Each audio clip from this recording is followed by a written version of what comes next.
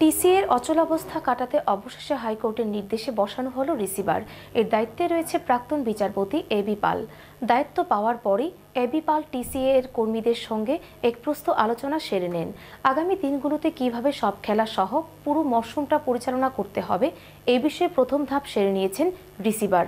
হাইকোর্টের এই রায়ের পর স্বস্তির নিঃশ্বাস ফেলে আবারও মাঠ তৈরির কাজে লেগে পড়েছেন গ্রাউন্ড স্টাফরা।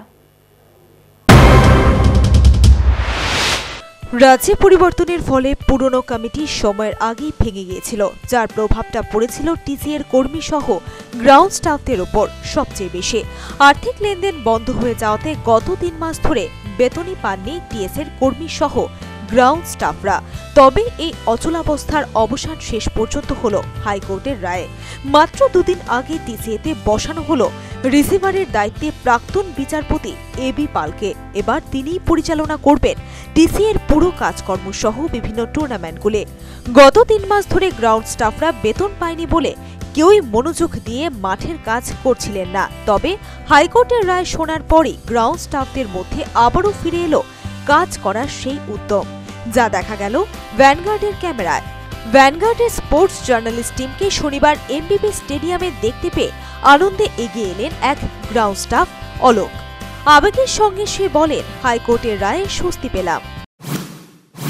আমরা অফিসে গত পরশুদিনকে রিসিভার বনে আমরা মনে ভিতরে অনেক আনন্দ আছে আমরা এতদিন মাঠে কাজ করল, মনে ভিতরে একটা কঠিনতা আসলো যে কবে হইব, না হইব এখনও অনেক আমরা পুরোপুরি খুশি। এই আনন্দে আমরা কাজ করতে আসছি বরাবরই এই রিসিভার বনের পরের থেকে আমরা শুনতেছি যে খেলা হইব। খেলা হইলে আমরা তো সে সেই ব্যক্তিত্ব আমরা মাঠ প্রিপারেশন জোর কদমে চলছে।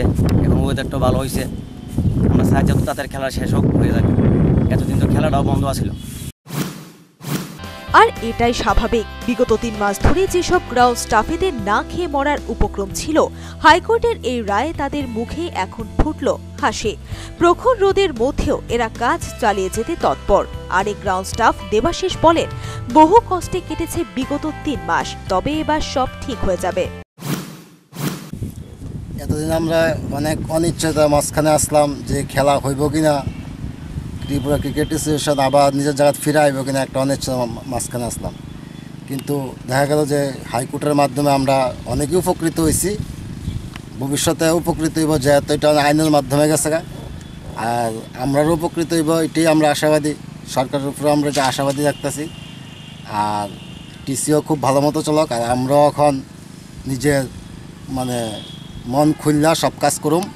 এটি আমরা উপর মহলে আশা একটা আশা দিছি, সপ্তাহখানিকের ভিতরে আমরা মাঠ রেডি করে দেবো। তারা তো সপ্তাহখানিকের ভিতরে খেলা চালু করতে পারে। এটি আমরা আশা ত্রিপুরা ক্রিকেট অ্যাসোসিয়েশনে ভালো মতো চলক। আমরা কর্মীরাও তো ভালো মতো চলতে পারি। এটাই সবাই আশা এমবিবি স্টেডিয়ামের সিনিয়র গ্রাউন্ড ইনচার্জ অনিমেষ সাহাও এদিন আর ক্যামেরা দেখে লুকোলেন না। এগিয়ে এলেন নিজেই ভ্যানগার্ডের স্পোর্টস জার্নালিস্ট টিমের কাছে। বললেন, এবার সব ঠিক হয়ে যাবে।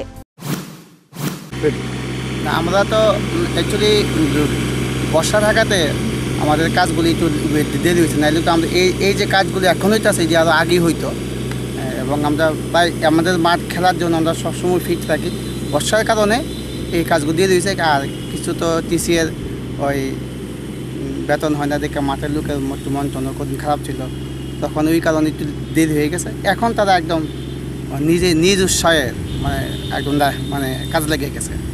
এবং আশা করি আমরা টিসিএর আগামী দিন যারা খেলা টুর্নামেন্ট টুর্নামেন্ট যা আছে, আমরা হান্ড্রেড পার্সেন্ট ওদের যখন সহযোগিতা করব এবং মাঠ যাতে আরও সুন্দর, ভালো দিতে পারি, যাতে আমরা ত্রিপুরাবাসীর কাছে আমরা এই দাবি আগে থাকব বহু কষ্টে বিগত তিন মাস কাটিয়েছে টিসিএর প্রতিটা কর্মী সহ গ্রাউন্ড স্টাফরা তবে এবার এই কষ্টের লাঘব হলো বলেই খুশি প্রকাশ করলেন প্রতিটা গ্রাউন্ড স্টাফে নিউজ ভ্যানগার্ডকে কৃতজ্ঞতাও প্রকাশ করলেন মাঠের প্রতিটা কর্মী। কেননা বিগত তিন মাস ধরে নিউজ ভ্যানগার্ডের স্পোর্টস জার্নালিস্ট টিম সার্বিকভাবেই সহায়তা করেছিল। গ্রাউন্ড স্টাফিদের অভাব অনটনে একমাত্র তাদের পাশে ছিল নিউজ ভ্যানগার্ড। তাই গ্রাউন্ড স্টাফিদের এই খুশির অন্যতম ভাগিদার ভ্যানগার্ডের স্পোর্টস জার্নালিস্ট টিম বলেও জানালো এমবিবির গ্রাউন্ড স্টাফরা। Bureau report, News Vanguard.